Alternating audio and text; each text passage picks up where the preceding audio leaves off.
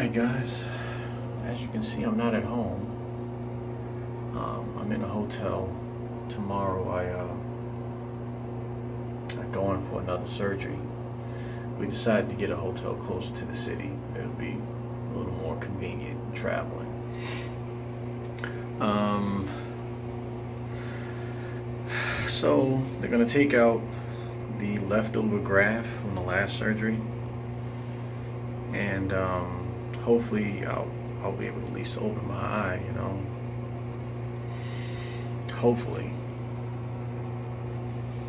You know, I'm tired of being squinted up and not being able to look at people and I don't know.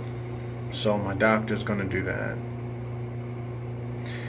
And um, what else is he gonna do?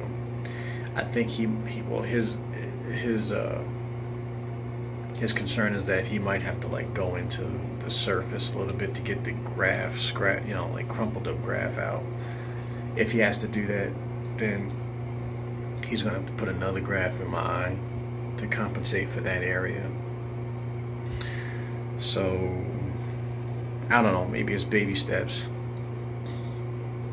But I'll take it. You know gets us to the end result.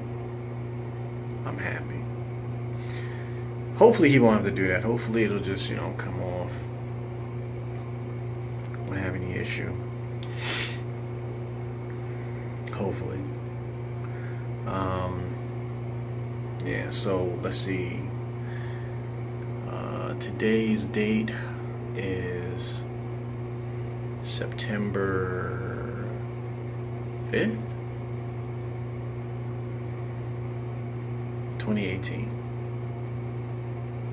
Alright, guys. Talk to you later.